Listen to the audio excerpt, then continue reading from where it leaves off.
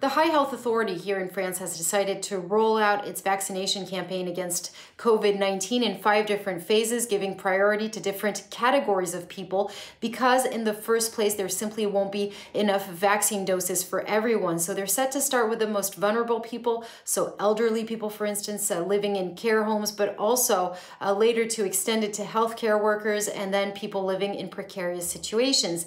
Now, the calendar of vaccination of these different phases is not yet yet known, but we know that it will depend in a way on the rate of production of those vaccines. It's also set to be a huge logistical challenge because the one candidate vaccine that is set to get the green light from the European Drug Agency first is the US pharmaceutical company Pfizer in collaboration with BioNTech. And they actually use a technology that is very new. It's pretty much gene therapy. So you use a genetic material that needs to be manipulated uh, very cautiously, but it also needs to be stored at very low temperatures. So so at around minus 70 degrees Celsius. And the French state says it has already identified 130 facilities that can be uh, that can serve to, store to, to store those different vaccines.